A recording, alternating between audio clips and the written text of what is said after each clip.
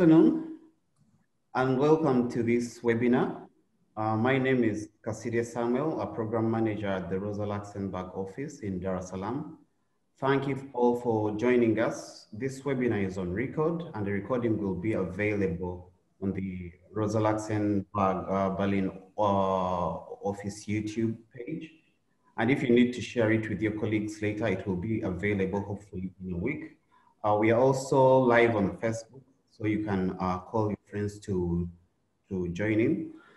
Uh, please click the, uh, for translation, we have some translation. Uh, there's an icon below for translation if you look uh, below at your screen. We have translation for German, English, and French. so please, I hope you can find the icon below on your screen. Uh, for your questions, please use the Q&A box, uh, which is also below, or if you have a question or a comment, please go to that box. Uh, today we are talking trade, and uh, we have an exciting panel, which I'll be able to introduce later. We are going to discuss the Africa Continental Free Trade Area in the context of other critical processes like the Economic Partnership Agreement, uh, which as you all know, or you may be aware, remain largely inconclusive. We also have the post-Cotonou negotiations that are, uh, that are taking place. But also we are going to discuss the Africa Continental Free Trade Area in context of the current shifts in the global multilateral system. Uh, you all know there is a stalemate in the World Trade Organization. So we shall discuss this in context of what is going on. To start us off, uh, we are delighted to have Honorable Maria Schreiber. Honorable Schreiber is a member of the Left Party in Germany, Die Linke, and she has been a member of parliament since 2017. She's the chairperson of the led parliamentary group in the Committee on Economic Cooperation and Development, and one of the focus of, of, of her office uh, uh, uh, is uh, on, on privatization development uh, cooperation, among others. She's a critic of the neoliberal and has criticized approaches towards the South, including Africa. And she has worked on initiatives such as the Compact with Africa and the role of development uh, financial institutions in Africa. Her opening remarks will also address why it is important for us right now to have this discussion on the Africa Continental Free Trade Area but also to share our vision on the future of, the future economic relationship between Africa and Europe. Uh, Honorable Maria Schreiber, I invite you to take the stage of the platform for this guest. Thank you very much.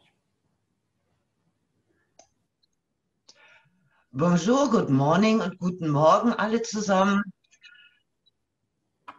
Ich begrüße Sie und euch alle ganz herzlich zu unserem Webinar. Wenn EPAs das Problem sind, ist die afrikanische Freihandelszone die Lösung. Jetzt haben uns in den letzten Wochen einige Leute darauf hingewiesen, dass wir einen etwas sperrigen Titel für das Webinar gewählt haben. Aber ich denke, wir konnten dennoch gebührendes Interesse wecken. Denn die Diskussion, die wir heute führen, ist aus sehr vielen Gründen wichtig. Und ich möchte die kommenden Minuten dazu nutzen, etwas genauer auszuführen, warum. Erstens, die Beziehungen zwischen der Europäischen und der Afrikanischen Union, zwischen den europäischen und afrikanischen Ländern, die sind in Bewegung. Ende Oktober hätten am EU-AU-Gipfel Grundzüge einer neuen strategischen Partnerschaft zwischen den beiden Kontinenten diskutiert und verabschiedet werden sollen. Der Gipfel wurde zwar Corona-bedingt auf nächstes Jahr verschoben, mhm. doch die Debatten zu der Partnerschaft laufen ja weiter, im Hintergrund und langsamer. Ähnliches gilt für das Post-Cotonou-Abkommen sowie die Zukunft der sogenannten wirtschaftlichen Partnerschaftsabkommen der EPAs, die bisher 14 afrikanische Staaten ratifiziert haben. Das kommende Jahr könnte also wichtige Entscheidungen für die zukünftigen wirtschaftlichen Beziehungen zwischen Afrika und Europa bringen. Und es ist höchste Zeit, darüber wieder mehr zu sprechen. Denn, und damit bin ich beim zweiten Punkt, eine kritische Begleitung der laufenden Verhandlungen zwischen den europäischen und afrikanischen Ländern findet derzeit kaum statt. Corona hat nicht nur diese Verhandlungen gebremst, es hat auch die kritische Begleitung und insbesondere einen internationalen vernetzten Austausch dazu nahezu zum Erliegen gebracht. Die Veranstaltung von WEMRO, dem Dachverband deutscher Entwicklungsorganisationen, Mitte Oktober war eine wichtige Ausnahme. Das heutige Webinar, das in Kooperation mit Seatini Uganda, den Rosa-Luxemburg-Büros Dar es Salaam, Dakar und Brüssel sowie mit meinem Parteikollegen und Abgeordneten des Europaparlaments Helmut Scholz und von uns entwickelt worden ist, ist Teil des Versuchs, einen internationalen Austausch wieder stärker mit anzuschieben.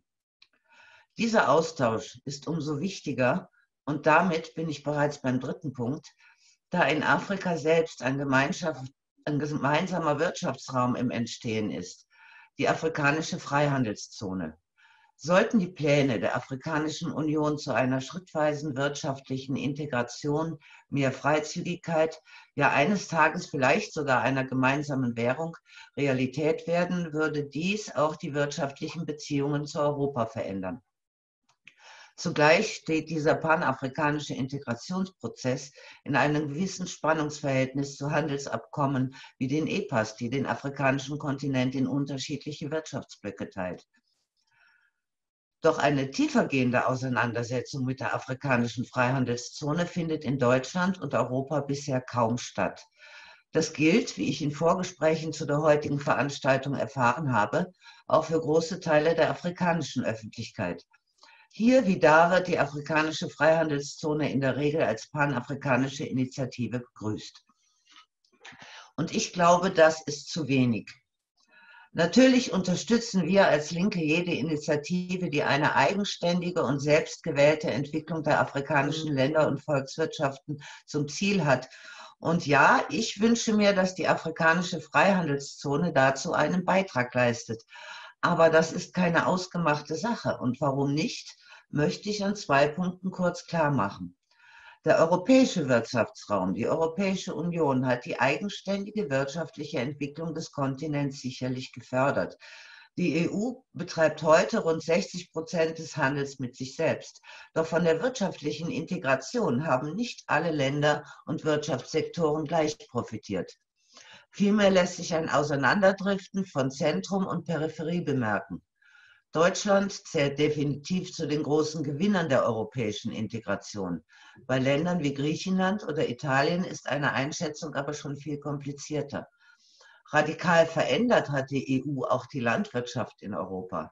Diese ist heute zwar extrem wettbewerbsfähig, ein Großteil der Bäuerinnen und Bauern hat die wirtschaftliche Integration aber nicht überlebt.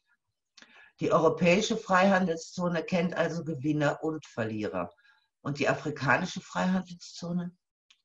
Welche Auswirkungen wird sie für die einzelnen Mitgliedstaaten und Wirtschaftssektoren haben? Und darüber müssen wir sprechen. Und mein zweites Bedenken gegen eine einfache, unkritische Unterstützung der Idee einer afrikanischen Freihandelszone, die entsteht ja nicht im luftleeren Raum. Die afrikanischen Länder sind durch unzählige Freihandelsabkommen bereits fest in die Weltwirtschaft und in globale Wertschöpfungsketten eingebunden und wie wir wissen, auf sehr unvorteilhafte Weise. Und wie unter diesen Bedingungen ein panafrikanischer Wirtschaftsraum florieren soll, ist eine offene Frage. Klar ist, die zukünftige Gestaltung der europäisch-afrikanischen Wirtschaft Beziehungen, beispielsweise im Rahmen der EPAS, wird entscheidenden Einfluss darauf haben, ob und in welcher Form ein panafrikanischer Integrationsprozess gelingen kann. Und genau das ist auch der Grund, warum eine Debatte über die afrikanische Freihandelszone nicht nur in Afrika, sondern auch in Europa geführt werden muss. Wollen wir eine wirtschaftliche Integration zwischen den afrikanischen Staaten von Europa aus unterstützen, dann dürfen wir nicht nur wohlwollend auf die afrikanische Freihandelszone verweisen. Vielmehr müssen wir eine Debatte in Deutschland und Europa führen, wie wir unsere Handels- und Wirtschaftspolitik gegenüber den afrikanischen Ländern verändern müssen, um eine solche Integration zu ermöglichen. Es würde mich sehr freuen, wenn das heutige Webinar einen kleinen Beitrag zu einer solchen Debatte beisteuern könnte. Ich freue mich jedenfalls schon sehr auf die Beiträge und die Diskussion und übergebe wieder an Samuel Kasire, Mitorganisator und Moderator der heutigen Veranstaltung.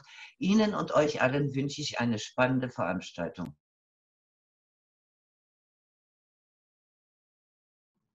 Uh, thank you, Honorable Maria Schreiber. I think you are raising very critical points. Uh, I think the panelists will be able to expound on what you have said. Uh, first is the scrutiny of the negotiations. And on this platform, we also have a lot of journalists who want to report more on the Africa Continental Free Trade Area. And also civil society has faced a problem of scrutiny of these negotiations. Most of the time, they are not uh, privy to the uh, text of these negotiations. So it has been hard. I think that is a critical point. Uh, thank you very much. I think we shall be able to expound on that. Uh, I would like to thank you for uh, opening this webinar. And I would like to thank your office as well as the office of uh, Honorable Helmut Scholz, who will be a, a, a panelist today. We thank SEATINI uh, that is the Southern and Eastern Trade Information and Negotiations Institute in Uganda, the Rosa Luxemburg office in Berlin, Brussels, Dakar, and my colleagues here in Dar es Salaam. Uh, the webinar is uh, structured as follows. Uh, we shall have three panelists who will, I will introduce one by one. We'll all first present, then we can uh, ask questions or have our comments as the uh, webinar goes on.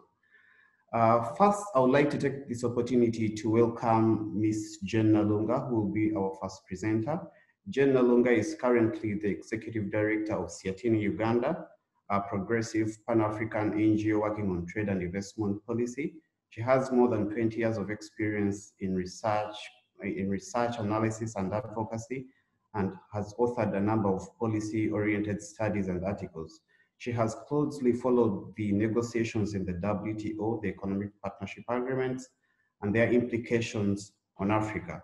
She's uh, a member of the official delegation to the World Trade Organization. This is, uh, she's a member of the Uganda delegation. She has observer status there and also has observer status with the Uganda delegation on the Economic Partnership Agreements and other regional processes.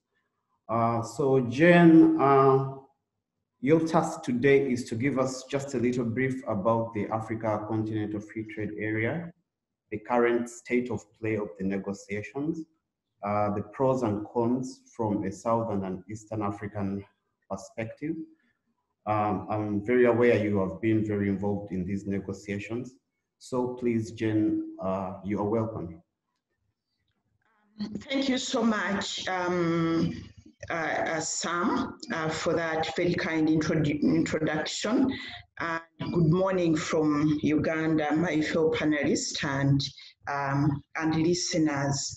Um, as uh, Sam has pointed out, I'm just going to give um, a brief, uh, a brief um, a brief on the status of the CFTA um, and also give the pros and cons and also give some proposals on, on the way forward. Um, I'll start with the genesis of uh, the CFTA.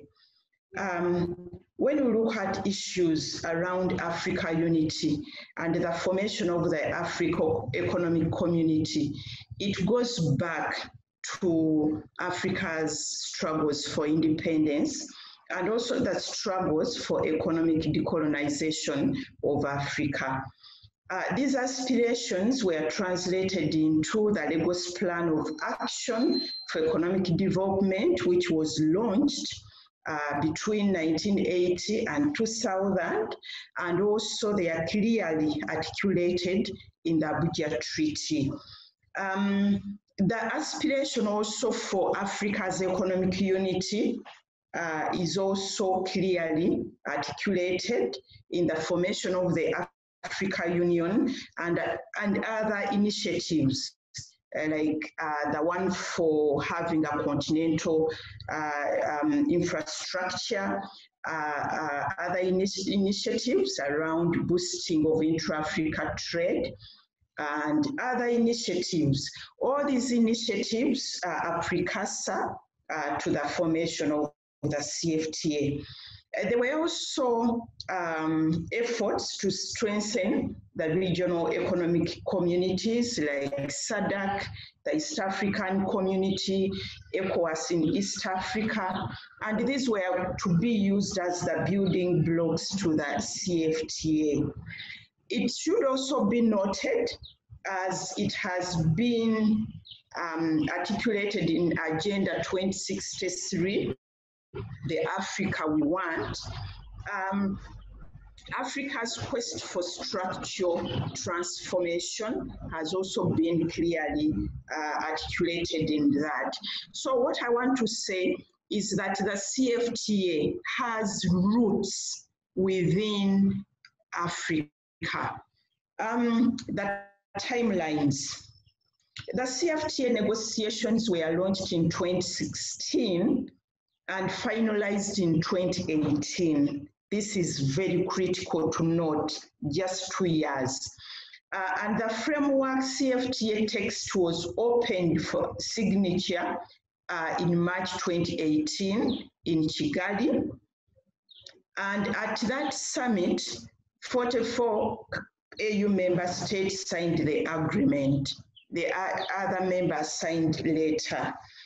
Uh, the region economic communities like the East African community, ECOWAS in South Africa, ECOWAS in West Africa, were supposed to be the building blocks for the CFTA negotiation and implementation.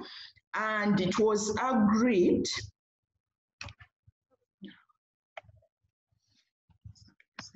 and it was agreed that by July 2020, trading will start, trading will start under the CFTA. So those were the timelines, very, very, um, uh, uh, very, very short timelines. Uh, the current state of play. Um, 54 Africa Union members out of five um, members have so far signed the consolidated text of the agreement. Um, only one country, Eritrea, hasn't yet signed. Uh, out of the 55 members, 30 members of the Africa Union have so far ratified. But what should be noted is that no single regional economic community has ratified the agreement. For example, in Uganda, in East Africa, Tanzania hasn't ratified, and Burundi is yet to say has they haven't ratified. Uh, in ECOWAS, for example, Nigeria hasn't ratified.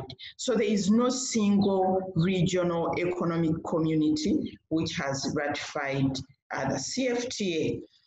Um, I will now look at the pending issues. At the Africa level, by September 2020, three custom unions, that's EAC, SADC in, South, in the southern region, ECOWAS in West Africa, are yet to submit their initial of draft offers. I, I want to go back to what's happening at the EAC level. At the EAC level, where I'm speaking from, um, the partner states are yet to, to discuss their, their schedules of tariff concessions and their schedules of uh, specific commitments on trading services. They are also yet to discuss and agree on rules of origin. So, so the ES member states are yet to submit their revised offers so that they are consolidated and harmonized into an EAC offer, which they will submit to the AU. That hasn't been, been done. Therefore, when you look at the deadline, you know, the timelines, the new timelines now, as per now, is that trading under the CFTA arrangement is to commence on 1st January 2021, which is very, very unrealistic. Um, I will now go to uh, the challenges. Um, one of the challenges facing the CFTA, the CFTA negotiations, is the as the uh, previous speaker pointed out, COVID has been a challenge. Um, but for us in the region, there has also been limited capacity of countries to negotiate online. You know, we have so many challenges. Like now, we are having challenges, you know, connections, weak internet. So there are challenges of negotiating online. Although the African Union was insisting that negotiations should be uh, undertaken online. There is also the challenge of technical capacity of the RECs to negotiate.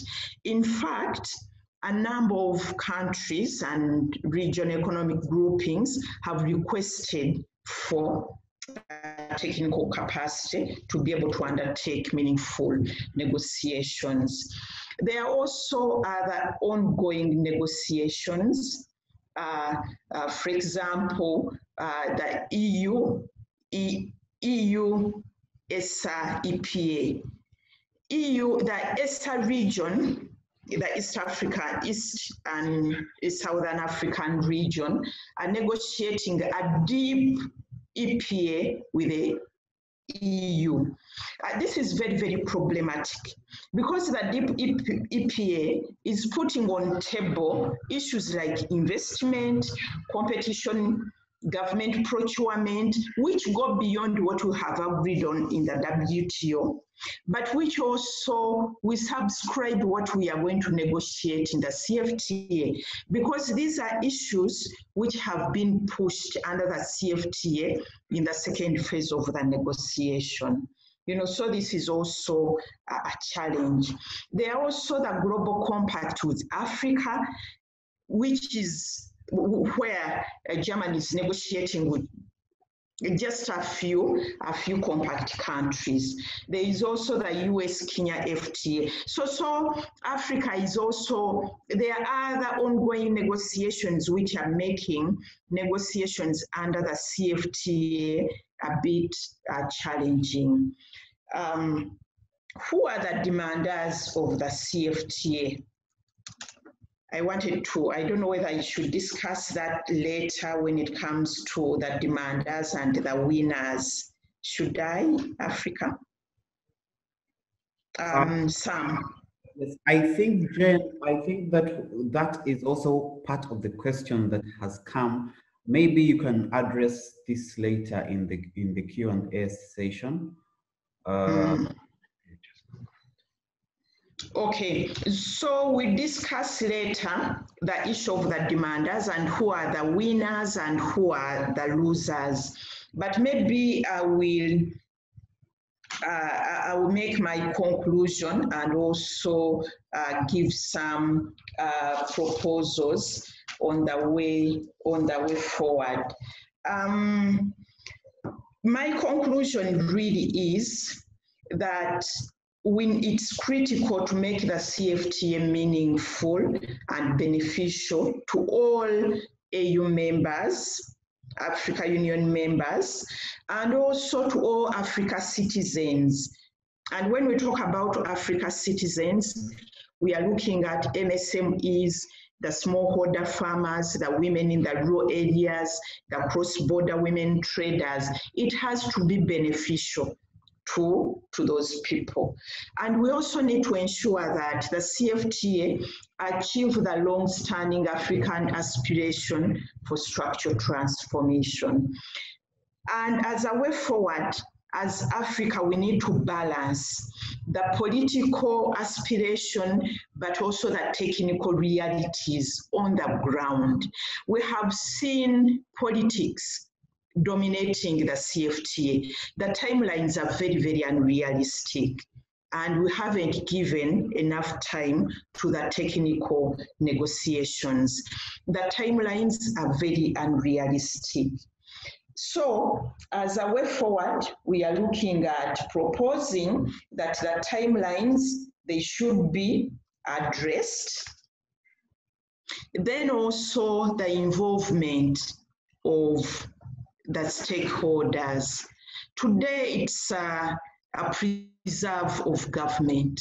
You know, the private sector is not involved, MSM is um, not involved, uh, civil society is not involved. So it's uh, uh, that, that, that's a very critical issue as we move forward.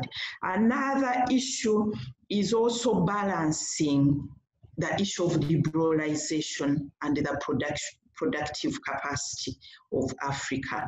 Um, the CFTA has concentrated so much on liberalization. When you look at the, the proposals for liberalization, they are very unrealistic. And if we, we don't have our own products to trade, that means we are going to trade products from outside you know. So we need also to rethink the liberalization and also balance it with uh, productivity. Then lastly, we need also to balance the interests of the smaller countries and the interests of the bigger, the bigger countries. When you look at the liberalization schedule, countries like Uganda will not survive they will not survive. They will not be able to compete. So that balancing of the poor, in fact, the CFTA document talks about the hegemonies, but they don't look at practically how to balance the interests of the hegemonies and the interests of the, uh, the smaller economies. So I will stop there and I'll, I will look at the other issues after the discussions. So thank you so much. Over to you, Sam. Uh, thank you very much, Jen. I think you have summarized it very well, especially looking at uh, the aspirations we have for structural transformation and then how we go about it with deep uh, liberalization. Uh, I think uh, uh, the questions are coming in on this. And for the next speaker, uh, who is Dr. Ndongo Sylla Samba.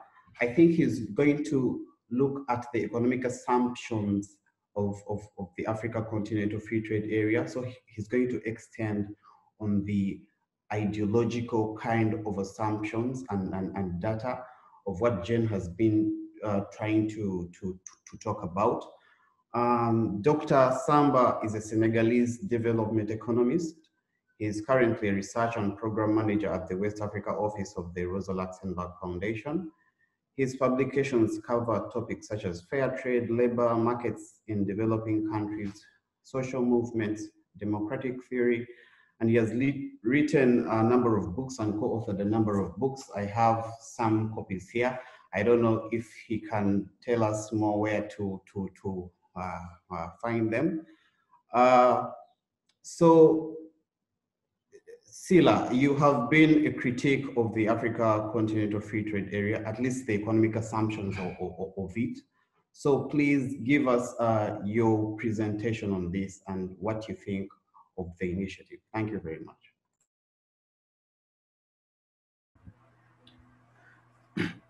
Merci beaucoup, Sam, et bonjour à tous et à toutes. Euh, C'est un grand plaisir d'être euh, parmi vous euh, ici aujourd'hui. Donc, ma présentation sera brève et tournera, comme Sam l'a dit, autour des hypothèses euh, économiques derrière, euh, disons, la défense du projet de zone de libre-échange continentale. Et donc, il faut dire dès le départ que la zone de libre-échange continentale a très peu fait l'objet de débats en Afrique. Et, euh, d'ailleurs, elle est plutôt bien vue par, les rares Africains qui sont au courant de son existence. Euh, comment peut-on expliquer l'absence de discours critique sur la zone libre-échange continentale africaine, y compris de la part des intellectuels panafricanistes et des intellectuels de gauche de manière générale? À mon avis, il y a deux présuppositions critiques qui, existent là et il est important de passer en revue préalablement ces deux présuppositions critiques, afin de pouvoir faire entrevoir les risques et dangers potentiels de la ZLECA pour les pays africains. La première présupposition est que la ZLECA est une initiative panafricaniste et qu'elle se situerait dans la droite lignée, disons, de la vision des pères fondateurs du panafricanisme, comme le président ghanéen Kwame Nkrumah. La deuxième présupposition est que le libre-échange entre les pays africains n'est pas nuisible. On peut critiquer les accords de partenariat économique parce que c'est le libre-échange entre l'Afrique et les pays européens. Ça, ça peut être nuisible, mais entre Africains, le libre-échange est tout à fait bénéfique. Et d'ailleurs, le libre-échange pourrait permettre aux pays africains de répondre aux, défis de leur développement. Par exemple, au-delà de l'augmentation du commerce intra-africain, le libre-échange pourrait augmenter la croissance économique, industrialiser l'Afrique et créer des emplois en masse. C'est comme ça que la zone libre-échange est vendue. Et donc, euh, la première présupposition qu'il faudrait un peu démystifier, c'est euh, est-ce que la zone libre-échange continentale est une initiative panafricaniste qui se situe dans la droite lignée de la vision des figures du panafricanisme comme Kwame Nkrumah La réponse qui peut paraître surprenante est non. La zone libre-échange continentale n'est pas une initiative panafricaniste. Pourquoi?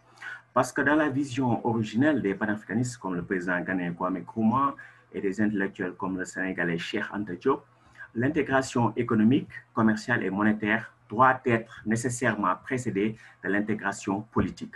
Sans le préalable de l'intégration politique, le projet panafricaniste ne peut aller bien loin.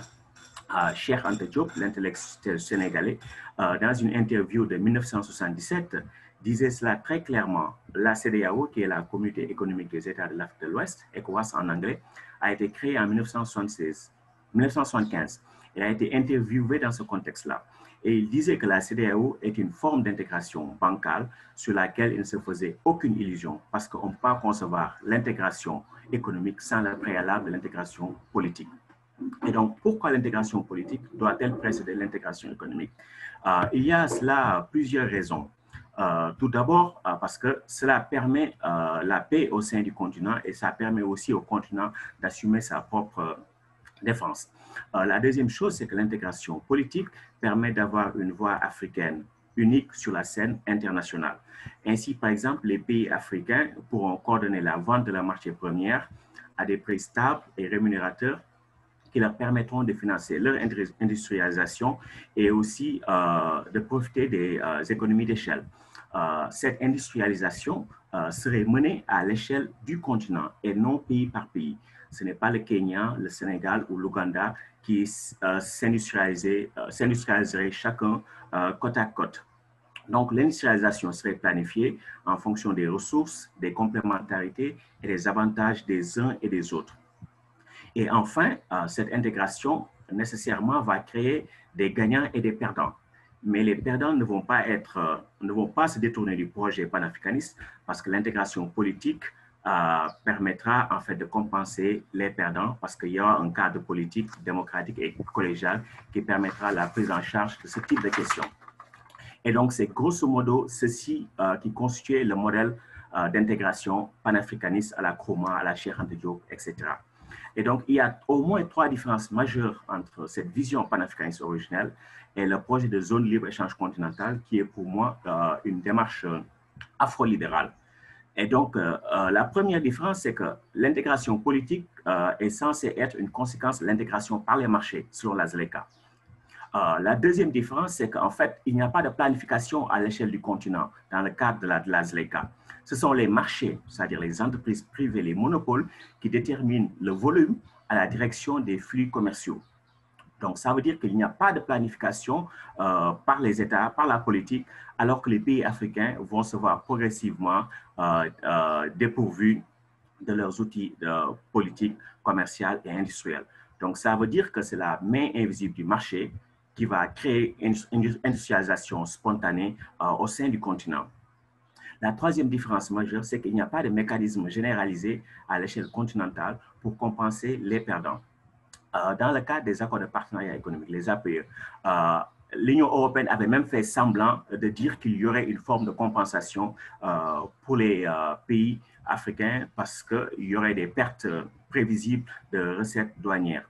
Mais dans le cas de la zone libre-échange continentale, il n'y a pas de mécanisme de compensation prévu à ma connaissance. Donc, par rapport à ce premier point, je dirais, euh, pour conclure, que la zone de libre-échange continentale euh, repose sur une logique d'intégration et de planification par les marchés dans, un contexte où les États sont progressivement dépourvus de leurs instruments de politique industrielle et commerciale.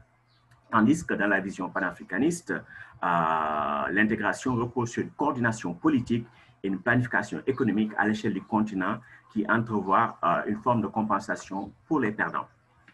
Et donc, la deuxième question qu'il faudrait aborder, et le deuxième, en, tout cas, mythe qu'il faudrait un peu détruire, c'est que le libre-échange peut permettre aux pays africains de répondre à leurs défis de développement. Grâce au libre-échange, le commerce entre pays africains va augmenter, les pays africains vont s'industrialiser et créer des emplois en masse. Et donc, ce qu'il faut dire tout d'abord, c'est qu'en fait, dans le cadre de la théorie économique, comme ce qu'on a vu aussi dans la littérature empirique, il n'y a aucune raison a priori pour que le libre-échange augmente la croissance économique. Ça, c'est un résultat important qui a été mis en évidence par les travaux empiriques. les travaux empiriques n'ont pas été en mesure de démontrer que les épisodes de libéralisation commerciale ont permis d'augmenter la croissance. Ça, il faut, il faut, il faut le comprendre. la deuxième chose, c'est que l'argument pour le libre-échange n'est pas un argument euh, consistant à dire que le libre-échange va stimuler la croissance ou créer le développement. Pas du tout. L'argument pour le libre-échange, selon ses partisans, c'est qu'il augmente l'efficience. C'est-à-dire que grâce au libre-échange, les coûts des entreprises vont diminuer et d'une certaine manière, cette diminution des coûts pourra être répercutée sur les consommateurs. Or, pour que le libre-échange favorise l'efficience, il y a plusieurs conditions qui doivent être remplies. Euh, par exemple, il ne doit pas y avoir de chômage ou de sous-emploi. Euh, avec la libéralisation commerciale, les entreprises doivent pouvoir ajuster leur production aux demandes du marché international du jour au lendemain. Par exemple, si une entreprise exportait 1000 tonnes de coton et qu'il euh, y ait maintenant la libéralisation et que le marché international réclame 10 000 tonnes, cette entreprise du jour au lendemain doit pouvoir disons, exporter les 10 000 tonnes de coton. Euh, une troisième condition, c'est qu'il existe des mécanismes d'assurance pour les producteurs. Euh, une autre condition, c'est que les perdants de la libéralisation commerciale vont être compensés. Et enfin, une dernière condition, c'est que cette compensation peut être mise en œuvre sans impliquer aucun coût. Donc, euh, si ces cinq hypothèses ne sont pas remplies, donc, le, la, en fait, le présupposé déficience ne sera pas rempli. Euh, donc, le libre-échange ne va pas générer euh, l'efficience. Et donc, euh, évidemment, toutes ces hypothèses ne sont remplies nulle part, pas même dans les pays riches et a fortiori dans les pays les plus pauvres. Mais ce que beaucoup ignorent, les journalistes, les organisations de la société civile, etc., c'est que tous les travaux de simulation des impacts économiques de la ZLECA reposent sur de telles hypothèses et d'autres encore beaucoup plus délirantes. Euh, par exemple, tous les travaux qui ont été produits jusque-là par l'Union africaine euh, et par la Banque mondiale pour défendre le bien fondé économique de la ZLECA reposent sur l'hypothèse de plein emploi des ressources, l'hypothèse que la perte des recettes douanières ne va pas réduire les dépenses publiques et donc ne va pas réduire la croissance économique, euh, l'hypothèse que les déficits commerciaux des pays africains vont pouvoir se résorber automatiquement grâce à la flexibilité des taux de change et donc, l'endettement extérieur en monnaie étrangère ne pose aucun problème. Et donc, nous avons vu circuler euh, euh, l'information selon laquelle la mise en œuvre de la zone libre-échange continentale va augmenter le commerce intra-africain de 50%. En fait, peu d'entre nous euh, sont au courant que ce chiffre a été produit à partir des données très anciennes, très rudimentaires et avec des extrapolations sans fondement. Euh, Jacques Berstolo, qui, est là, qui nous suit dans le public, a fait un commentaire très utile euh, sur toutes ces questions-là. Euh, par conséquent, quand les gens ordinaires pensent que la zone libre-échange continentale va apporter plus de développement, en fait, ils se trompent lourdement. et il est même naïf, en fait, de se demander si la zone libre-échange continentale va aider l'Afrique à sortir du sous-développement. Car les travaux qui justifient le bien fondé économique de la zone libre-échange continentale partent de l'hypothèse que l'Afrique n'a pas de problème de développement. Donc, il faut bien comprendre cela. Il n'y a pas de chômage, il n'y a pas de problème de balance de paiement. L'Afrique n'a pas de problème de développement. Et c'est à partir de là qu'on justifie le bien fondé du libre-échange. Donc, quand je dis cela, beaucoup pourraient être euh, surpris et se dire comment il serait possible que des institutions sérieuses comme l'Union africaine, la Banque mondiale, etc., euh, puissent cautionner de tels travaux. En fait, euh, ceci euh, reflète l'état, disons, de la science économique, l'économie dominante néoclassique. En fait, pour justifier les vertus d'efficience du marché, il ne faut pas se refuser les hypothèses les plus incroyables qui, soient. Et donc, malheureusement, les institutions communautaires en fait, sont dominés par l'économie conventionnelle. Les gouvernements africains sont euh, conseillés par les économistes orthodoxes, et ce qui explique qu'il y ait ce biais pour le libre-échange. Et donc, le dernier point que je voudrais évoquer rapidement est que les travaux pour le libre-échange, qui justifient le libre-échange, malgré leurs hypothèses incroyables et les limitations des données sur lesquelles ils s'appuient, génèrent souvent des résultats qui sont à porte-à-faux avec les rhétoriques euh, libre-échangistes. Euh, un premier exemple, c'est une étude de Simon Mevel et Stéphane Karingi qui a été publiée en 2012. En fait, cette étude-là euh, conclut que les pays importateurs nets de produits alimentaires.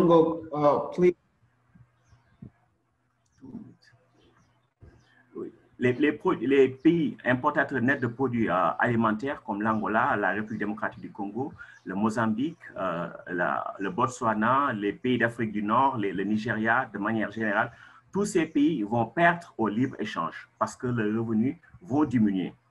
Euh, et l'étude même conclut qu'en fait, près de la moitié des pays africains vont perdre au libre-échange. Mais malgré tout, la conclusion, c'est que le libre-échange, entre guillemets, va bénéficier au continent. Une étude plus récente de la Banque mondiale a été publiée récemment au début de l'année. Euh, cette étude, en fait, indique également que la ZLECA ne va pas faire augmenter la taille du secteur industriel dans le PIB, produit intérieur brut. En fait, euh, la part du secteur industriel dans le PIB doit diminuer dans 18 des 24 pays étudiés par la, par, la, par la Banque mondiale. Donc, euh, pour conclure, en fait, euh, il y a trois choses qu'il faut retenir. C'est que la ZLECA est vendue comme une initiative panafricaniste, ce qu'elle n'est pas. Elle relève plutôt de l'afrolibéralisme. La deuxième conclusion, c'est que la ZLECA est vendue comme un projet qui va permettre au continent de se développer, alors que les travaux de simulation censés justifier sont bien fondés, partent de l'hypothèse que l'Afrique n'a pas de problème de développement. Et la troisième conclusion, c'est que les travaux censés justifier les bien fondés euh, économique de la ZLECA, malgré leur manque de rigueur et les hypothèses incroyables sur lesquelles ils reposent, montrent que les perdants sont nombreux et que l'industrialisation et les emplois ne seront pas au rendez-vous. Je précise que cette critique n'a pas pour objet de dire que l'Afrique ne doit pas s'intégrer sur le plan commercial et que la réduction des entraves à la liberté de circulation des biens et des personnes est une mauvaise chose en soi. Cette critique a plutôt pour objet d'ouvrir une discussion sur les alternatives pouvant être explorées quand on sort du carcan de l'économie orthodoxe. Merci beaucoup.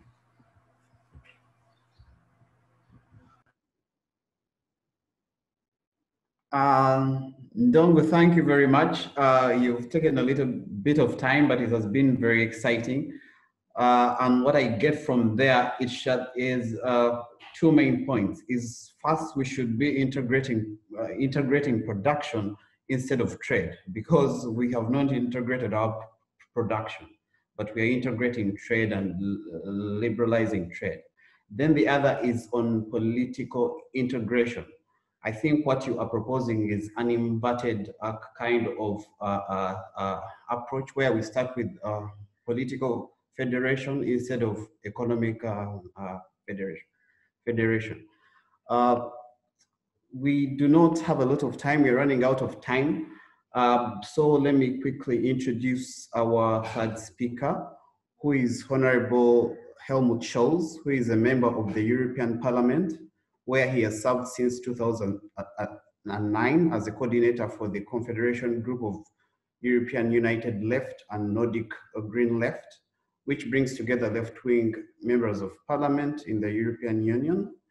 He's a member of the Committee on International Trade He's also the vice chair of the U European Parliament's Fair Trade Working Group, where he has successfully uh, been in charge of promoting the establishment of the City of the Fair and Ethical Trade Award. Um, he is also uh, a, a EU's Parliament Standing Rapporteur for, for, environmental, for the Environmental Goods Agreement. He's also an active member of the Parliamentarians uh, for Global Action. as well as the Global Interparliamentary Network of Representatives worldwide supporting the UN binding treaty on business and human rights. I know many people here who are working on the uh, UN uh, Business and Human Rights Treaty. So uh, we have a good resource here. And today, um, Honorable Helmut is going to, to, to, to discuss if the African Continental Free Trade Area is discussed in the European Parliament, and if it is, how is it uh, discussed in the European Parliament? And also, he'll give a discussion on, on, on the comprehensive strategy uh, for Africa. Uh, Honorable Scholz, you're welcome. You have 10 minutes. I hope you can be able to wrap up within 10 minutes. You're welcome. Thank you very much, um, Samuel, for um, uh, this opportunity. And I want to thank the organizers for this very timely and um, very um, challenging um, um, seminar or workshop. And it is a very uh, interesting and important topic which deserves all the attention, not only of us, probably coming from a left, from a from a from a background rethinking trade cooperation between the European Union and um, the African continent uh, with all the uh, regions, uh, with the different political stakeholders, economic stakeholders, and so um, I want uh, say uh, frankly that um, I'm more or less uh, interested in listening to all your experience, your um, judgments about the challenges ahead of us. Uh, let me start at the beginning that um, um, as Eva Maria has said in the beginning, uh, that the title of our workshop is a little bit not so easy sound, sounding, but I would say uh, I like it because it's provocative. Uh, and um, as a left-wing politician in the European Parliament, one is tempted to shout out spontaneous, of course, no, uh, and to lean back and rely on the many books critical of neoliberal free trade agreements, which have been, which you all have been reading, and to an extent even writing ourselves and yourselves. And to be honest with you, when the ACFTA is mentioned in the Committee on International Trade in the European Parliament, this happens indeed in the context of classical trade policies, as it is already characterized by the speakers um, before me uh, this morning. The EU Commission considers the endeavor to form an all African uh, free trade area as an important step towards market liberalization.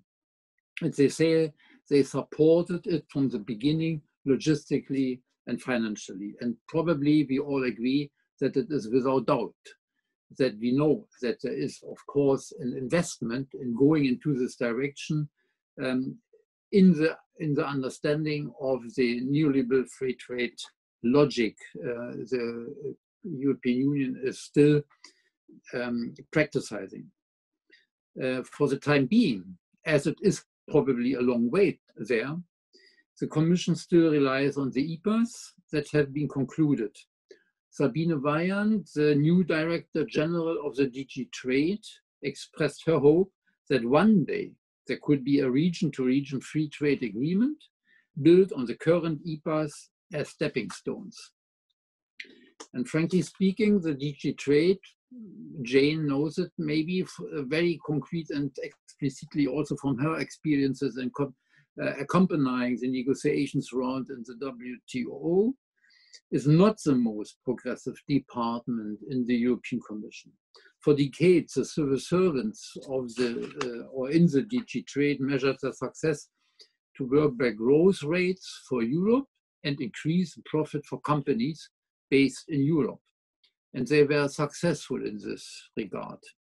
We have spoken about that already with your experiences. And every single FTA concluded by the EU led to a change in the balance of trade to the benefit of Europe. And yet, it must also be taken into account that these negoci negotiated agreements with sub-partner countries within this regional uh, trade agreements had given them a chance to gain profit or benefits for parts of their societies compared with those in other countries of the same region. So for example, the East African uh, community EPA is of course leading to more benefits for some stakeholders in Kenya or in, um, in Rwanda compared with Burundi or Tanzania, etc. So we are creating by this EPAs, the regional EPAs, also a disparity in the region itself. What I'm working for is opening chances and realities to achieve in a shifting of the paradigm for measuring success.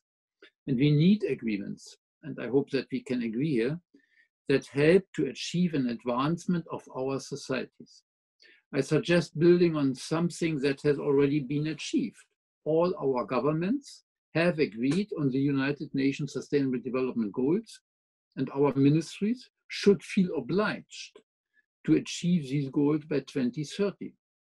That is, I think, how we should measure success.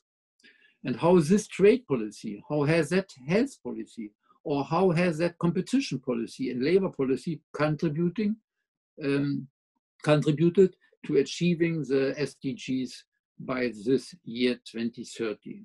And probably we have to rethink also the relationship between the parliaments, the civil society representatives, the regional uh, structures and organizations to control their ministers when they are negotiating agreements, etc., so that this measurement becomes transparent and understandable in the society themselves. We all know that Africa, EU-Africa trade has been characterized by, for years, decades, centuries, inequality and unfair trade relations.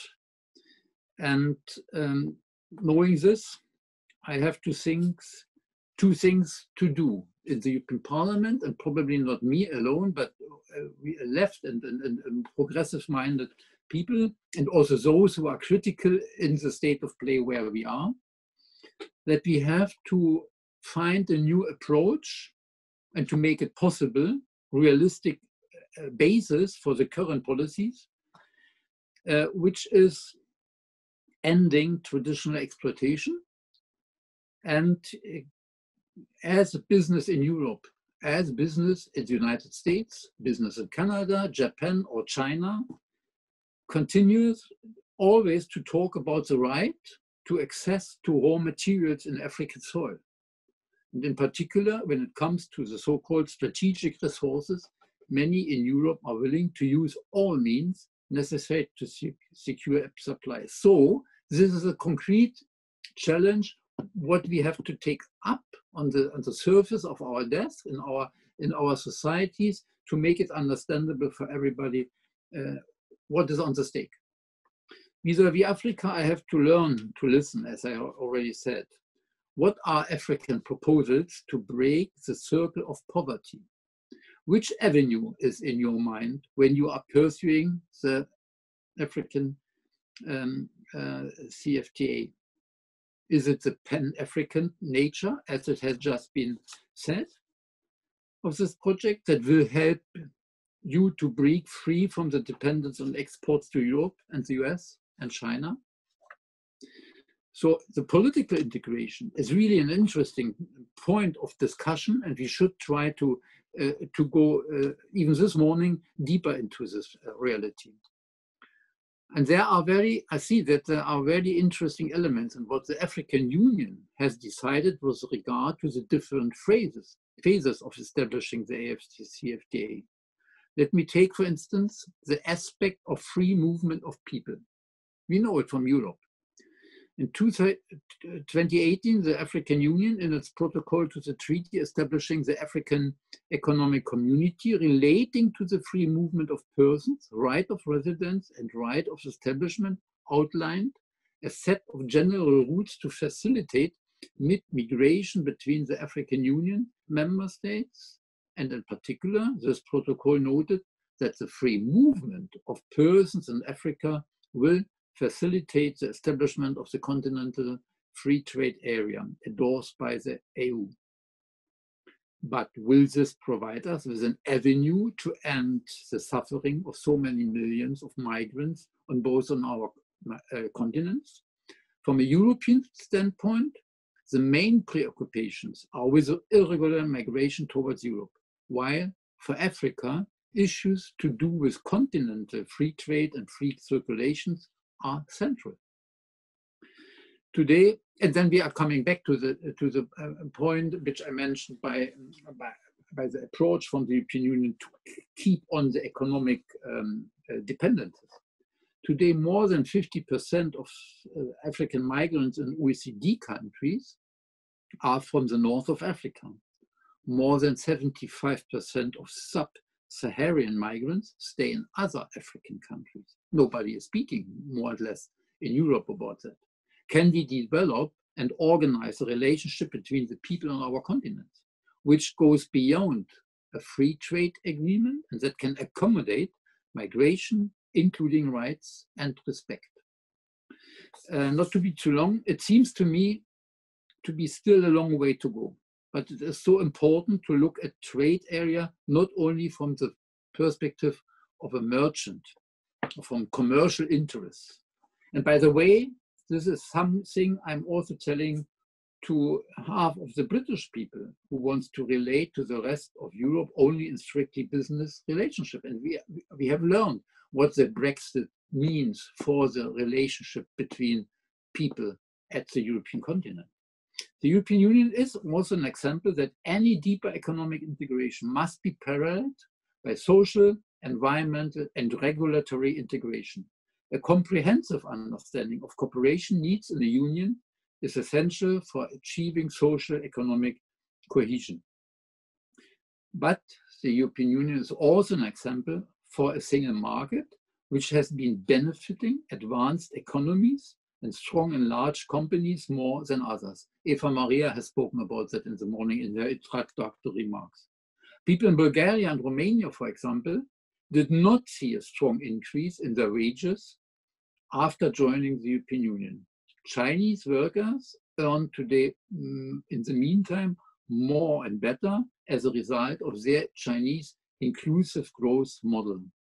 There's a lot of internal migration from Central and Eastern European states to the west and to the north. Finally, we now have a proposal on the table for a European minimum, minimum wage system. So tell me how you are going to develop the African Union and your AF, AFCFTA.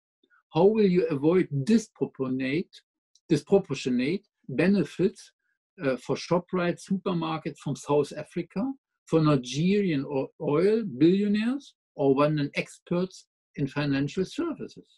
So, I mean, the reality of the economic um, um, disparity in, in, in, in our, also in the African societies in, different countries is, of course, a challenge, a big challenge uh, to you and uh, probably also to all of us.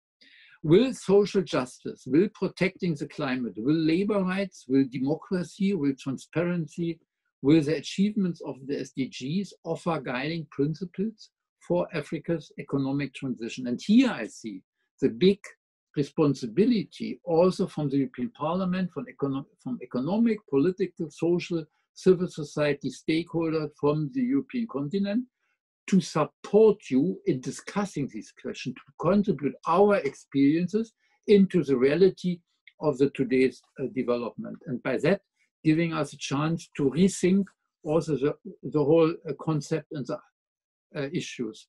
And finally, uh, we have adopted uh, in, in October, even under the COVID-19 uh, challenges in a, um, in a um, remote procedure of the European Parliament, um, the, the positioning of the European Parliament concerning the African strategy of the European uh, Commission.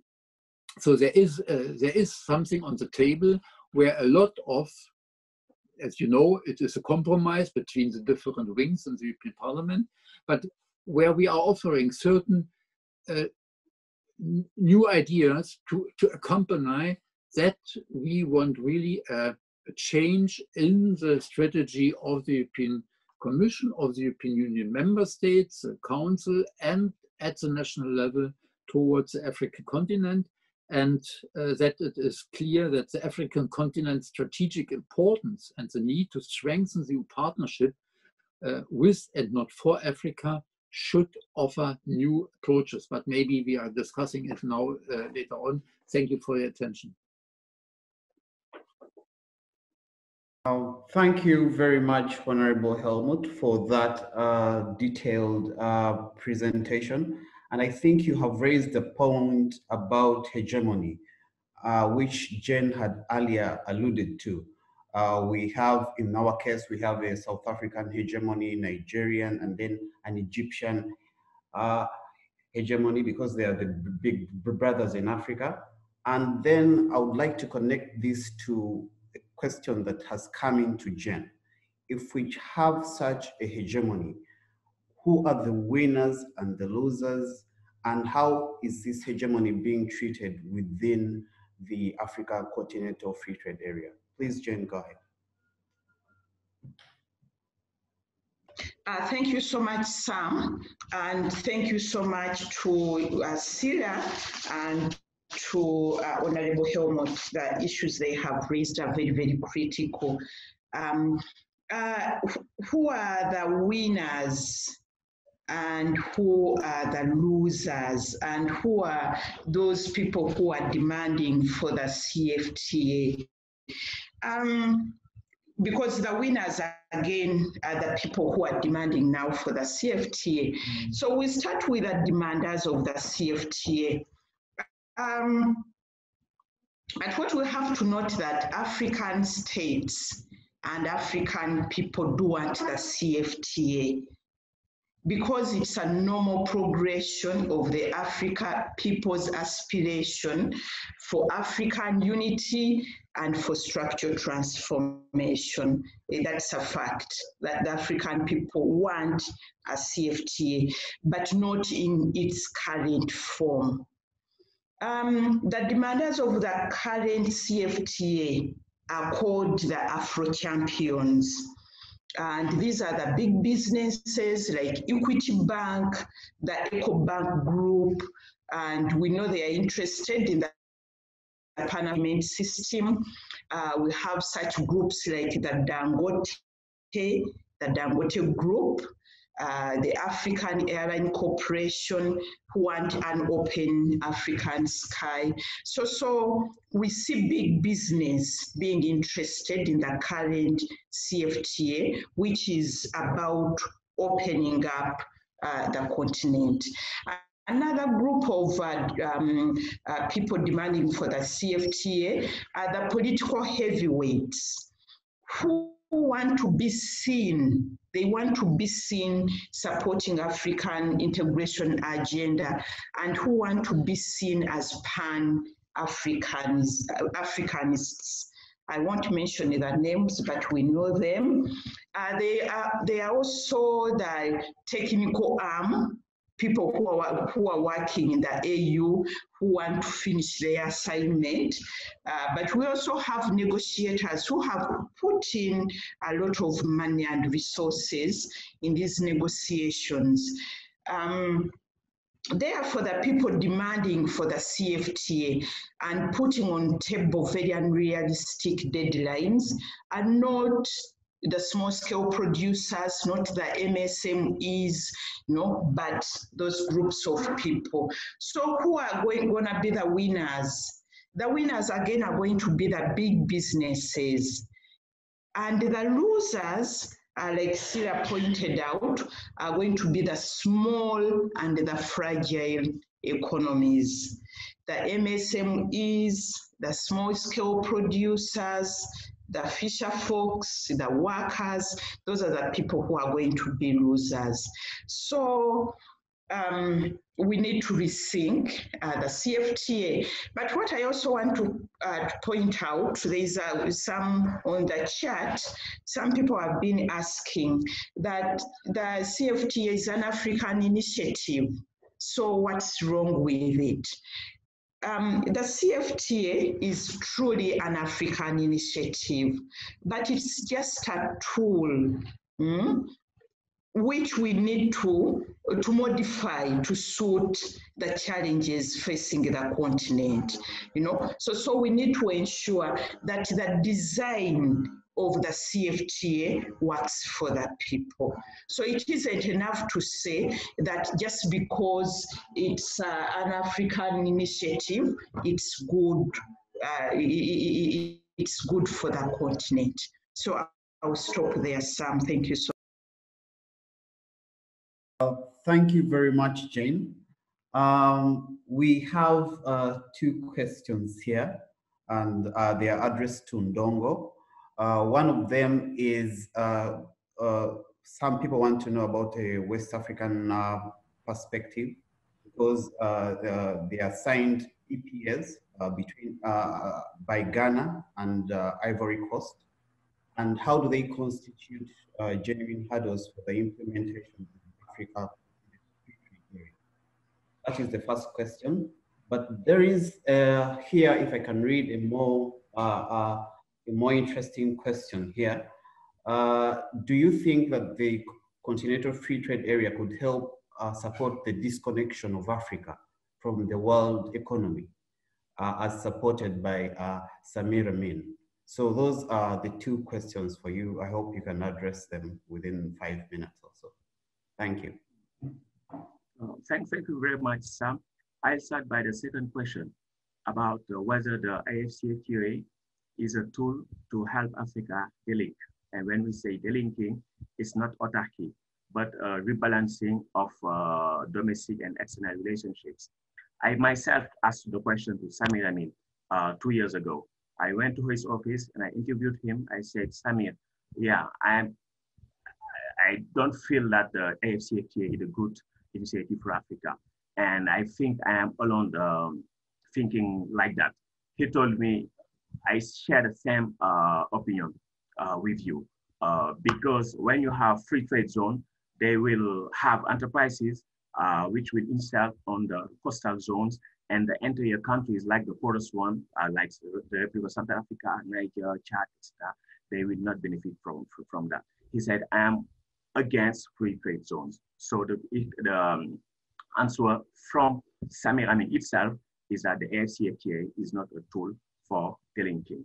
That, that doesn't mean that uh, uh, trade integration is not a good thing for Africa, but that only implies that we could have other mechanisms of trade integration. For example, in West Africa, we know that um, from 20 to 65% of the imports of countries are devoted to just uh, two items, food products and energy products. I think African countries could do their best to achieve food and energy self-sufficiency. It's not clear how free trade could help African countries obtain um, food, food sovereignty and uh, energy uh, sovereignty. But with other forms of integration, it's possible. Uh, to stay with, uh, to stay with uh, West Africa, yes, the situation is complicated because uh, two countries, Ghana and Cote d'Ivoire, have signed interim EPAs with the European Union. And in, the, in those interim EPAs, there is this clause of uh, most favored nation. And uh, normally they granted 80% of tariff liberalization to the European Union. Whereas in the framework of the African Continental Free Trade Area, it is expected uh, that uh, the trade liberalization will cover 90% uh, of tariff lines. That means that Ghana and Cote d'Ivoire will have to extend the same, let's say, preferences to, to the European Union. And one of the consequences is that um, normally uh, this could not be uh, handled within the, the ECOWAS, the Economic Community of West African States, as they normally belong to a custom union. And in the framework of the CFTA, this is a huge hurdle. I myself asked the question uh, last November to a trade commissioner uh, in, in ECOWAS, Economic Community of West African States. He told me we are negotiating, but this is a huge issue. And for now, it's, it's a stalemate. We don't know how to deal with that. So it's a question we'll have to follow, but it's sure that African countries have to have a common policy uh, regarding how they will uh, deal with such kind of trade agreements like the EPAs. Thank you very much, Ndongo. I have other questions for you, but they will come in the uh, second session of this plenary. Uh, the next question goes to Honorable Helmut Scholz. Uh, one question has come in is about the economic partnership agreements. How are they being treated now? Being that uh, they remain inconclusive, uh, many remain inconclusive, and yet uh, uh, they are guided by the Cotonou Agreement. Will we have another kind of trade arrangement in the post Cotonou initiative? So how is trade being treated uh, uh, now and uh, beyond 2020? Thank you. Um, it's a very interesting question because, as you know, as it has been already said, uh, the EPAs are in a certain standstill mood uh, in, in their realization. So um, um, there where we have the interim agreements concluded by the um, European Union and certain states of certain regions uh, which has been negotiated, uh, which uh, which have uh, negotiated and concluded an EPA, um, giving the, the European business a certain access. In the meantime, there is a hope, as I have said already, that with the development of the ASFTA, the, the chance for European business to use um, the new phase for, for, for having access to the African markets um, is a, the, the strategy of the moment. So as there is not yet a, clear picture how to deal with the post-Cotonou agreement, uh, so what, what will be there, uh, the orientation is trying to use what is existing.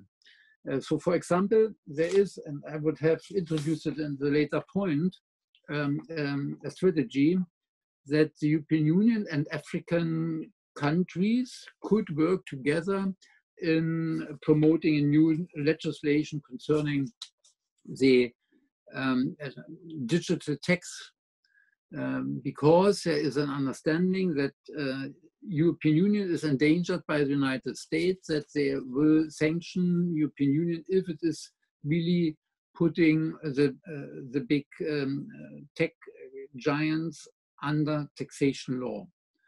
And the same as it is an attempt by African uh, states to introduce a digital tax, um, giving them additional possibilities to get surplus money for dealing with the direct impact of the COVID-19 crisis and to find money there. So here is a, a way of creating a new uh, cooperation form between European Union um, and um, and African countries. So, for example, there is um, um a new organization um, set up uh, within the frame of the OECD and the African union to to to compose such um, an, an, an, permanent cooperation form um, using, for example, the experience of the South Africa-based African Tax Administration Forum um, for for uh, forming the African position on that. So, so what I want to express by that is that the EPAs are, of course, uh, still uh, the, the, the, the, benchmark for the economic cooperation, but there are um, um, searches for, for additional and new forms of, of continuing the cooperation form. And uh, finally, you know, we have four um, free trade agreements negotiated, in particular with North African countries. So that is, of course, also one part of the strategy of the European Union. Thank you very much. Uh, in relation to that, uh, there's a question that has come in for Jen. And uh, you are alluding to that the East African community is in the process of preparing its tariff offers. But in the case that uh, economies have been hit uh, badly by uh, COVID, is should there be a review of these offers for every country? Do you think this is a possibility? Then the other question is a more radical one is uh, how do we stop it all? Maybe you can address this question.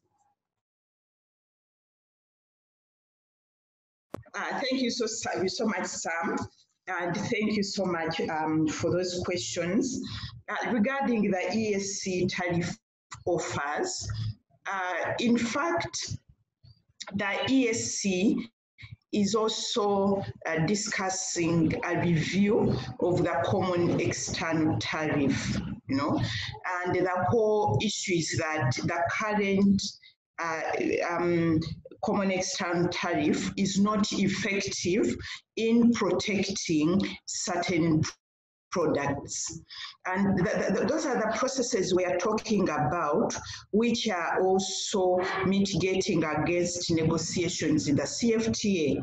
Because if the EAC is uh, negotiating among themselves the common external tariff, how then can they go ahead and make offers uh, to the Africa Union? So it's true, the COVID pandemic has raised a number of realities and there is a need to review. So, so that means that it's important for countries to go slow when they are making their offers, tariff offers uh, to the Africa Union, to first of all rethink liberalization within their regional economic groupings.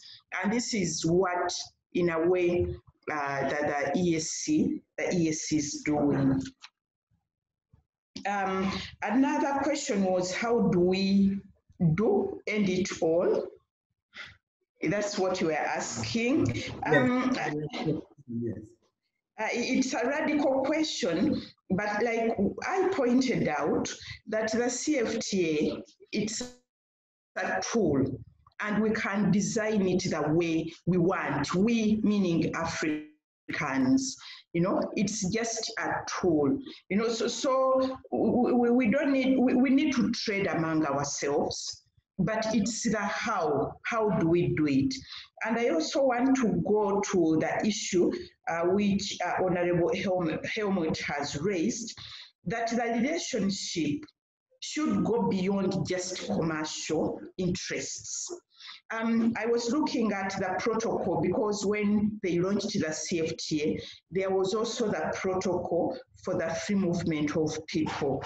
But to date, only 27 signed the, that protocol, signed but not, not ratified. You know, so, so we need to look at a relationship which goes beyond commercial interests as um, Helmut has has pointed out, you know, and we need to look at how we integrate our production. That's the issue which Sylla has raised. How do we integrate our, our production? So, so and that goes to the question um, uh, Sam you have raised, how do we deal with the hegemonies? You know, if we can be able to flip it, you know, look at production before we liberalize extensively. We can be able to deal with the hegemonies. We can be able to end this whole um, treadmill of liberalization, you know. My, my submissions on these two issues. Thank you, sir. Okay, uh, thank you very much. You have pointed out about uh, uh, the trade agreement going beyond just trade. And I would like to indulge uh, Ndongo on this. Uh, someone is asking which uh, process, which trade process is more important for Africa? Where should it focus? Which is more important? The EPAs, the Africa Free, Free continental trade area. Then, of course, uh, in East Africa, like Kenya, is has opened up negotiations with the United States and, and, and, and Britain. Where should we focus? Ndongo, please. I think uh, uh, the focus should be to um, put an end to the colonial legacy of primary specialization. That means that African countries have to try to increase their domestic production, their domestic capabilities, uh, at the same time diversify their production and exports. Uh, I am not advocating autarky, but we know uh, from history that uh, all the countries that industrialize, all the countries that develop, they have a phase where they uh, protected their infant industries and allow for industrial development. Uh, what is important for Africa is to have a kind of uh, economic and uh, economic and commercial trade integration, which will maximize, let's say, domestic policy space. But in the case of the African Continental Free Trade Area, it's a kind of integration which will, let's say, reduce the domestic space. And um, I think this will not uh, be a good thing for economic development and also for, for democracy. Uh, the professor, uh, Dani Rodrik, has a very um, telling formula. He's speaking about um, a trinity of impossibility, meaning there is there are three things you could not have at the same time. You could not have a nation state, democracy, and deep economic integration. You have to choose two among these three. If you want the nation state and deep economic integration, like for example, the AFCFTA, uh, so you will be uh, in a situation of, let's say, um, uh, where uh, the world economy will dominate your economy and you will have no democracy. So this will give rise to populism, etc.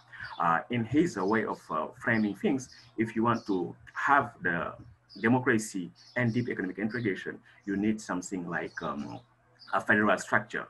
Uh, if countries are not ready for federal structure, so they, they need some form of, uh, let's say, protection uh, and not deep economic integration. So we have to be clear about, about what, what we want. I think there are many possible things we want we can do. If we want to increase trade, we have to increase first production. And we could increase our production by having, for example, the appropriate uh, financial systems. In many countries, the SMEs are not funded at all because they are not the appropriate uh, financial structures. Uh, at the same time, we know that um, uh, the payment systems uh, within Africa are not working. We could have a payment systems which will facilitate uh, cross-border trade. Uh, we could also build infrastructures which will help also the flow of, uh, of goods. There are some studies by the IMF which show that the impact from, let's say, creating infrastructures for trade are higher than, for example, the what is expected from just removing tariff and non-tariff barriers. There are many things we could do which will help African integration at the same time enlarging domestic space. But unfortunately, that's not the case with the AFCFTA. Uh, thank you on uh, for, for, for your response. But also maybe if you could also add a little bit to, uh, a little bit on uh, your work on currencies. How does it play in within the Africa, uh, Africa continental free trade area, especially the uh, thank you. I, will uh, um, give just two aspects. The first aspect is about um, um, the exchange rates. Uh, in all standard uh, trade models, the exchange rates are supposed to be flexible. When you have a trade deficit, this trade deficit uh, will be uh, will come to equilibrium through flexible exchange rates. In reality, we know it doesn't function like that, but this is a standard assumption. If you want to benefit from free trade, you have to have at least a flexible exchange rate.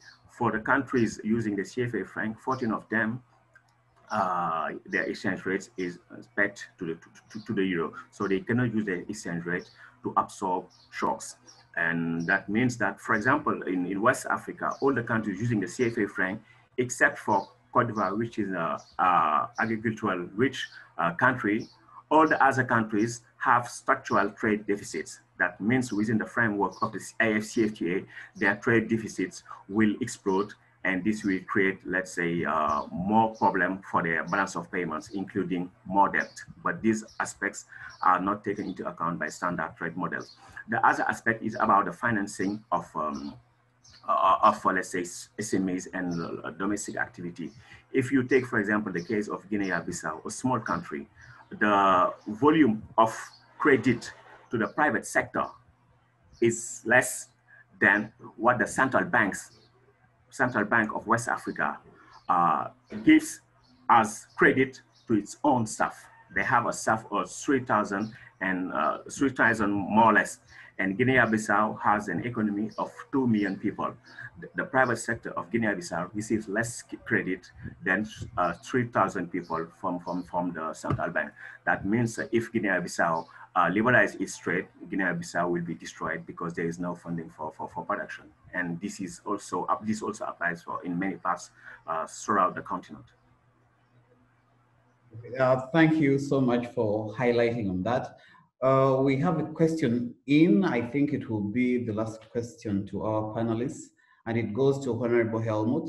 It's a simple but very complex question. Is your view, your view, your perspective about the vision of EU-Africa relations, especially uh, one that maintains African policy space? Uh, please go ahead. I say thank you, Samuel. I don't know exactly if it is an easy question. It's but uh, surely it's a very complex question, and uh, I can't speak for Europe. Uh, so I can only express certain reflections about what, what is on the stake and what we have to, to, to think in this direction. And probably we, we have to agree that the relationship between the, between the European Union, which is not Europe, and African uh, countries uh, uh, also very different and in full um, variety is one of the central challenges for the future. How we are living together and that we are stopping to treat people in, in, in at the African continent as uh, cheap labor, as um, those who are supplying us with, with raw materials, etc. So if we don't, I, I, would say, together, European Union and the African countries, within the African Union, let it be even, even in the AFC, FTA, to think what are our crucial global challenges for both of us. And let's try to, to, to establish a, a linkage between us uh, to, to, to, to answer these challenges, we will not have a future for this relationship. Pro, a productive one, a constructive one, a progressive one. So how we are mitigating uh, the loss of biodiversity, how we are dealing with the climate change issues. So what is the energy policy? Because African people also want to have uh, a supply power supply in the wall and then uh, take it the energy. So that's uh, as a human right to have um, clean water, to have waste treatment, etc. So these are normal expectations of citizens in our societies, which we have to answer. And that must be done together, as I would say, because we have to reflect what does it mean, environment uh, um, protection, what does it mean for for, um, for reducing the CO2 emissions and probably as soon as possible, uh, even better. Um, and uh, in this way, I think we have a lot of uh, common and, and, and, and, and joint uh, task to deal with it. And that we have to put into the focus also of the commercial, of the economic, of the financial, monetary uh, as well as of the political cooperation. And maybe this should be mark the future of, of agreements we are concluding together. So for example, the European Union has in its uh, trade agreements always a sustainable development chapter included. Human rights, environmental issues, etc., etc., social uh, aspects. But they are teethless because there is no concluding uh, um, uh, or a tool in these chapters, which is uh, if there is a, a, violation of these aims uh, put into the agreement to the to those who are committing these that that they are not realized. And here I see the responsibility of us, in particular in the European Parliament. So we are striving to put into the real, real economic practices of today chapters uh, of, uh, for sustainable development which have a mandatory obligation structure for economic stakeholders, that the corporations have to stick to that what is uh, said by the legal uh, representatives, uh, by, by those who are, uh, who are trying to frame the market, to limit the, the, the, power of the market. And I think here, here we have uh, to think together. And maybe one conclusion of our workshop would be that we are organizing really um, chapter by chapter a comparison what has been good and bad in the in the development of the integration process in Europe, which is in the capital society um, uh, shaped. But it was also shaped under conditions to overcome the tragedy of the Second World War. So this, this peace issue, which has already um, shortly discussed uh, in the morning, has given uh, should give us um, um, um, a point, a paragraph where we have to say yes, how the the uh, the economic cooperation between very different African countries within the, the African Union and within the ASFTA um, to, to find ways that there will peace in the future. So how to establish it by very different expectations by citizens in the different countries. So that is one experience we have in the European Union and let's now talk about what is correct in the way of how the integration process was organized and where had been the biggest mistakes the, the, the dependence from economies from different countries has, of course, contributed that within the European Union, in the European community of steel and coal, there was in common interest not to lash war against each other because our economies are interlinked. So, so what does it mean under today's conditions for the African states?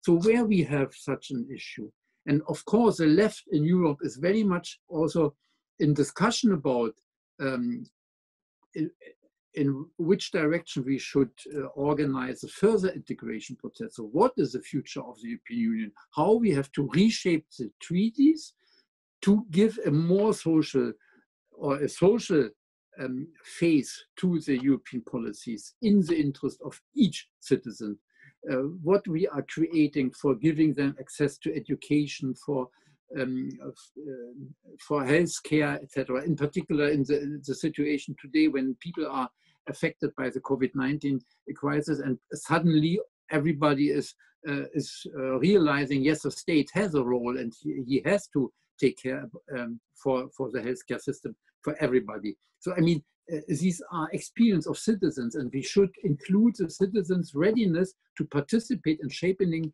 their societies in dealing with their expectations and our wisdom to find new uh, ways and answers. I think this would be the, the main task for the future um, um, um, relationship between the European Union and the African continent as such, but of course that is very concrete and precise for each African uh, uh, country because South Africa is, uh, is far uh, not the same as Mali or, uh, or Burundi, etc., etc. So I mean, we have to find new ways, but we should find the common points in, in, in the challenges ahead of us and here to, to, to deepen the cooperation. I don't know exactly if there's a question, the answer to the question, but I would I would always argue in that direction to to to to to find new ways of cooperation um, among us. Uh, thank you very much, Honorable Scholz. Maybe in the following webinar, this is part of the questions we shall be addressing. Uh, we have come to the end, but I'll give a few minutes to Honorable Eva Schreiber to wrap it up, maybe two minutes, and then we can end the webinar. Honorable Schreiber, please uh, give your wrap up.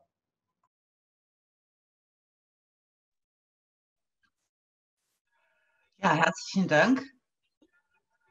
Ich bedanke mich für die spannende Diskussion und die vor allen Dingen die gute Kooperation zwischen Akteuren und Institutionen, zumindest drei Rosa-Luxemburg-Stiftungsbüros, Siatini, Linksfraktion im Europaparlament und mein Büro, das sind ziemlich viele, die sich abstimmen mussten und das hat wunderbar geklappt, finde ich. Also herzlichen Dank dafür. Ja, ich nehme von heute einiges mit, mein Büro hat sich ja in den letzten Jahren stark mit deutschen Initiativen wie dem Compact with Africa auseinandergesetzt. Das ist und das bleibt auch wichtig, aber wir müssen uns wieder stärker den Handelsfragen zuwenden. Sie stellen sozusagen die Grammatik unserer wirtschaftlichen Beziehungen zu den afrikanischen Ländern dar und der Austausch zwischen unterschiedlichen Partnern und Institutionen, von zivilgesellschaftlichen Organisationen in Kampala bis hin zu Parlamentsbüros in Brüssel. Das ist dafür unerlässlich. sowohl für den Austausch von Informationen als auch für die Entwicklung gemeinsamer politischer Strategien. Und wir werden diesen Austausch daher weiterhin suchen und begleiten. Heute in der Diskussion ist sehr deutlich geworden, wie umfassend die Thematik in wirklich alle Lebensbereiche eingreift. Es geht hier eben nicht nur um Handel. Wirtschaft darf nicht nur auf Handel reduziert werden. Wirtschaft ist viel mehr. Es geht um Fragen wie, was wollen wir unter welchen ökologischen und sozialen Bedingungen produzieren? Wie wollen wir es verteilen? Und das ist eine sehr politische Frage, die weit über die Forderung nach Freihandel hinausgeht und ja dieser Forderung in vieler Hinsicht sogar entgegensteht. Und daher müssen wir uns für einen weiten politischen Wirtschaftsbegriff einsetzen. Und gerade deshalb ist es unumgänglich, die Diskussionen zu begleiten, auch mit der nötigen Kritik und diese entsprechend formulieren und in unsere Parlamente bringen. Denn die Politik muss Gestaltungsmacht gegenüber der Wirtschaft zurückgewinnen. Dongo hat darauf hingewiesen, dass politische Integration nicht der wirtschaftlichen folgen darf, sondern Politik muss die wirtschaftliche Integration in die richtigen Bahnen leiten, zum Beispiel durch durchdachte panafrikanische Industriepolitik. Helmut Scholz hat zudem ganz, ganz wichtig gefordert, dass sich Handelsabkommen an der Erfüllung der SDGs orientieren müssen. Ganz kurz, wir müssen für das Primat der Politik einstehen und kämpfen. Und wir müssen immer wieder darauf drängen, dass die Bevölkerung, die Zivilgesellschaft nicht gegenüber den Konzernen zurückstehen, sondern eine tragende Stimme bekommen. Ich hoffe auf einen weiterhin sehr regen Austausch, bedanke mich noch einmal und auf Wiedersehen und bis zum nächsten Webinar. Danke.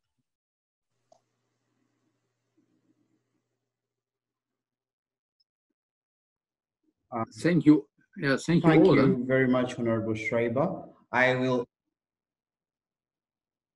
Yes, thank you very much, Honorable Schreiber. I will end it here. Yes, uh, for we shall have more webinars. We are preparing more webinars. There are many questions that have not been answered. We, we, we shall answer them in the next uh, sessions that we shall have. Thank you very much, everyone, for attending and for your comments and questions. Be safe. Thank you very much.